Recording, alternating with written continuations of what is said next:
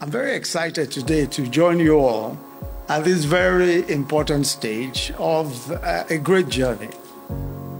But let me also say a word or two to the very powerful and energetic gathering of potential entrepreneurs, business leaders, public sector leaders, and the movers and shakers of business and industry today and in the future.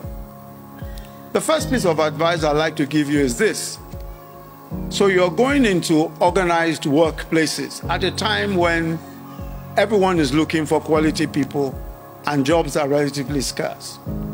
But the point then is that you must be prepared to make an impact on your employers. You must be prepared to make the sort of impact that will make you unforgettable. So you must be prepared to make the sort of impact that gets people to recommend you, perhaps not even necessarily in their own organization, but in some other organizations.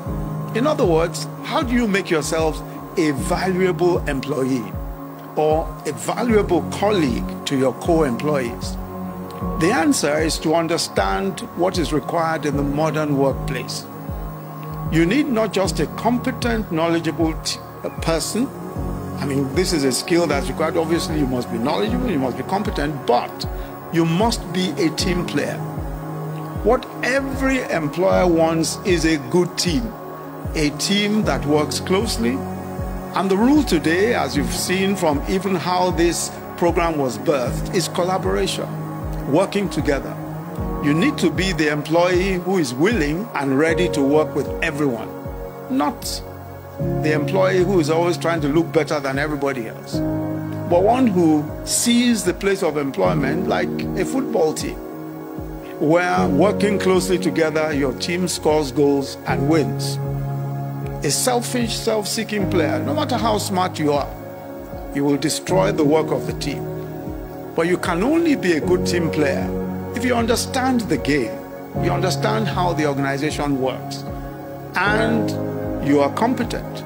So even if you are a receptionist at an organization, you must read up and ask questions to understand how that organization works.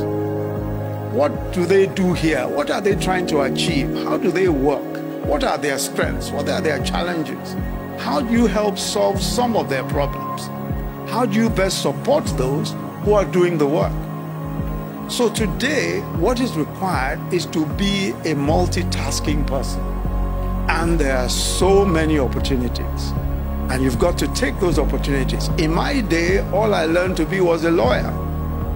It was so difficult to get trained to do anything else. But today, almost every time you turn on your computer, you find so many opportunities, all sorts of online training. And I think you should just take all those opportunities. Let me end by saying that you are young and educated at the most advanced moment in human history. This moment that we're in is the most advanced in human history. In my day, the technological advancements were, of course, you can imagine, light years away. I never imagined that anything like a text message was possible. When I was your age, just wasn't possible. Nobody had ever dreamt of it. But today, just think of the possibilities. So you are the most advanced moment in human history. And many of you are proving this. This is the greatest and the most advantageous moment for any young person and many of you every day are proving this. The opportunities are limitless. No matter what people say about the challenges, it is in those challenges that people make the greatest breakthroughs of all. It is the challenges that have the opportunities lying there somewhere. And you've got to pick up those opportunities. But you don't even have to be the entrepreneur to be a success. You can be the great software engineer you can be the great administrator or the manager of men and materials. Every day presents that great opportunity. It's time for you to seize the moment and achieve your own best dreams.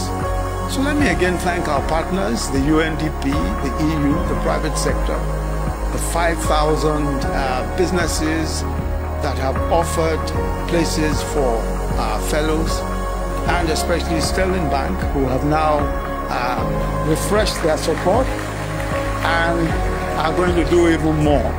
Thank you all very much. God bless you.